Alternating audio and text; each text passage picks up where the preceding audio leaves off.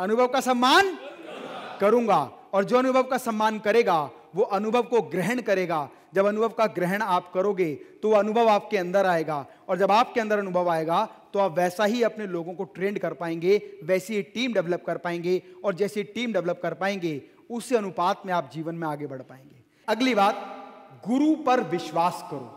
कितने लोगों को ऐसा लगता है कि उनके जीवन में कोई ना कोई एक बार गुरु ज़रूर आए? हम में से हर व्यक्ति। कुछ लोग जो गुरु जिनके पास नहीं होंगे तो वो ध्यान कर लीजिए अपने स्कूल का समय। तो स्कूल में तो आपके साथ गुरु ज़रूर होंगे। गुरु का सम्मान करो। जो लोग अपने गुरु का सम्मान करते हैं, वही जीवन में आगे बढ़ते हैं, क्योंकि गुरु को ये पता होता है कि कौन सा शिष्य किस चीज़ को कैसे समझ सकता है। कौन सा शिष्य किस चीज़ को कैसे समझ सकता है। इसीलिए कई बार गुरु अपने अलग अलग विद्यार्थियों को अलग अलग तरीके से समझाने का प्रयास करते हैं। यही बात हमारे परिवार पे लागू होती है। पिता एक भाई को प्यार से समझाता है, एक भाई को मार के समझाता है, किसी को दुलार के समझाता है, किसी को करवा के समझाता है, किसी को किसी का एक्सपीरियंस के अंडर लगा के समझाता है। मतलब उनको ये पता होता है कि उनका कौन सा बच्चा कैसे चीज़ों को सीखेगा। एक बार एक बच्चा जन्म से ही उस बच्चे को पोलियो था। आप जानते हैं कि पोलियो एक ऐसी बीमारी है जो शरीर के कुछ अंगों को खराब कर देती है। वो बच्चा जन्म से पोलियो में था और साथ ही साथ जब वो बड़ा हुआ तो धीरे धीरे धीरे धीरे उसका शरीर विकसित नहीं हुआ, विकसित नहीं हुआ तो उसका एक पैर खराब था उसमें पोलियो की वजह से। और जब जानते हैं कि पोलियो से अगर पैर खराब हो, या तो वो बिल्कुल काम नहीं करेगा, या काम करने का प्रतिशत कुछ डिफरेंट होगा। वो बच्चा रेलवे ट्रैक के पास से जा रहा था, एकदम उसका बैलेंस बिगड़ा और वो रेलवे ट्रैक पर गिर गया।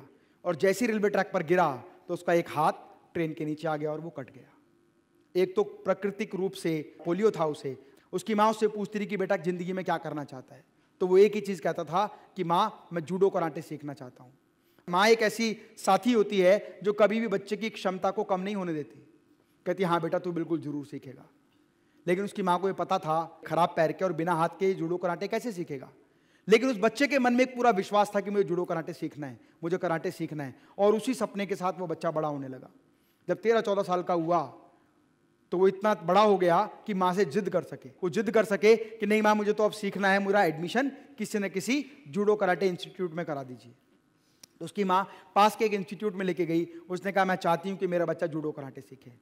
तो उस गुरु ने देखा और कहा कि नहीं, ये बच्चा जूडो कराटे नहीं सीख सकता।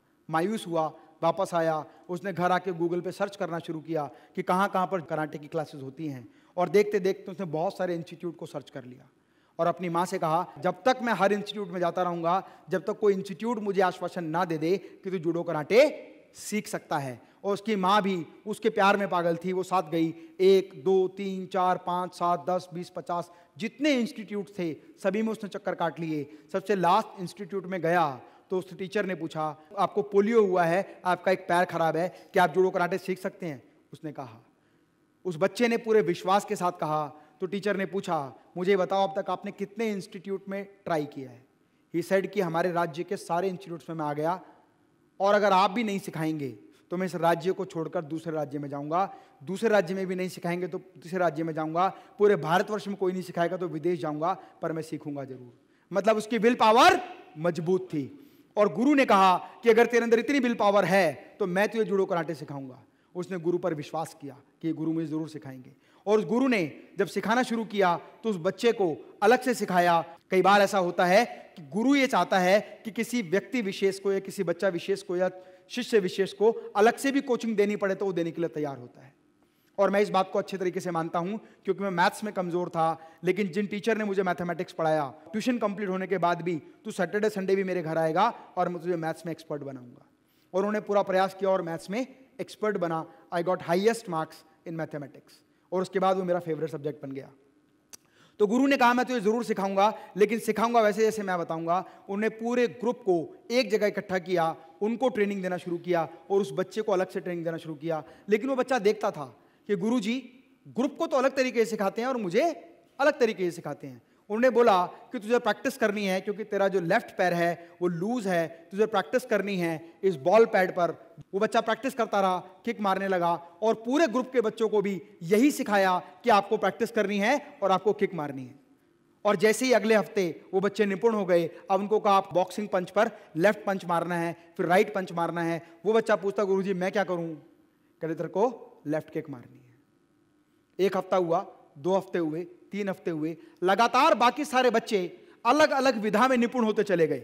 Left kick right kick front kick back kick front punch left punch right punch हर तरह से उनको निपुण करते गए। लेकिन जब भी वो बच्चा पूछता, गुरुजी, मैं क्या करूँ? तो कहते, तुझको खड़े होकर सिर्फ़ लेफ़्ट किक मारनी एक साल हुआ, दो साल हुआ, तीन साल हो गए और तीन साल में सारे बच्चे निपुण हो गए। फिर उस लड़के ने पूछा, गुरुजी, मुझे क्या करना है? तो गुरुजी ने कहा सिर्फ़ लेफ़्ट किक मारनी है।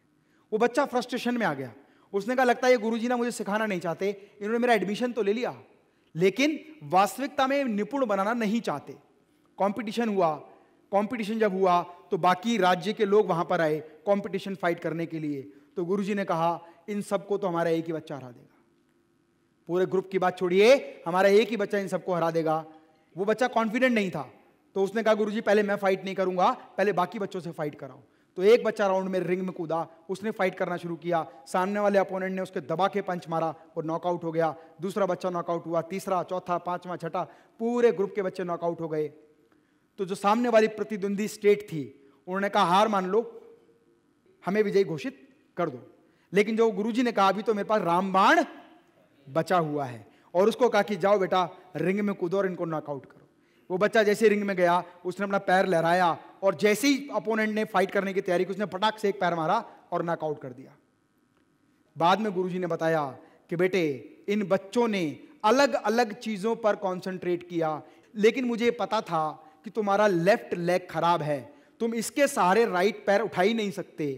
तो प्रैक्टिस में मैंने हमेशा तुम्हें लेफ़्ट पैर उठाने के लिए कहा, और इस फाइट में तुम इसलिए जीते हो क्योंकि लेफ़्ट पैर उठाने वाला व्यक्ति जब किसी को मारेगा तो इसका काट होता है कि सामने वाला व्यक्ति आपका हाथ पकड़ेगा और आपको पटक देगा।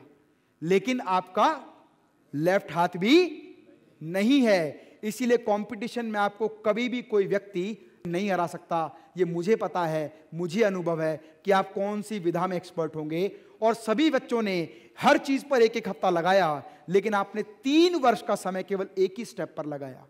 इसीलिए आपके सीनियर जो भी आपको बताएँ जिस भी तरीके से बताएँ, वो आपके लिए आपका बेस्ट मेथड लेकर आएँगे। और जब आप अपने बेस्ट मेथड पर काम करेंगे तो आपकी योग्यता वही होगी जो आपको एक ही किक में चैंपियन बना देगी।